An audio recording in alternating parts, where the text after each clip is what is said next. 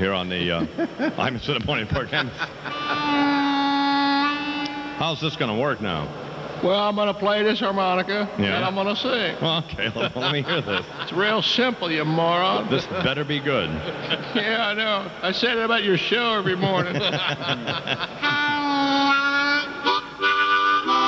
well, I've heard the poet state, heavy is the head where lies the crown. But it sure gets extra heavy when you're a heavy-headed state who lies about getting caught with his pants down. Though they can't prove I put the moves on those with whom I've been accused.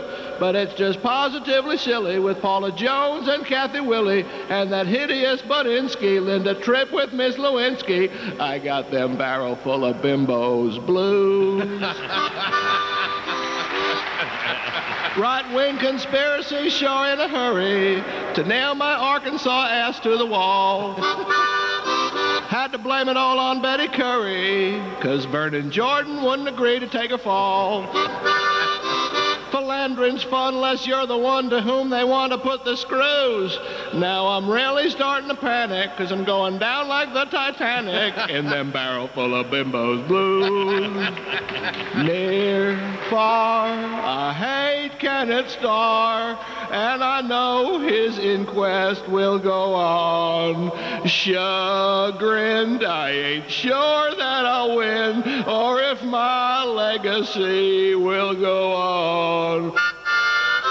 I ain't gonna be a lion. Bones been blown just like a bugle. Sometimes I feel like dying. I wish I was Jim McDougal. Though it ain't nothing but a misdemeanor. Still wonder what history will have for my epilogue.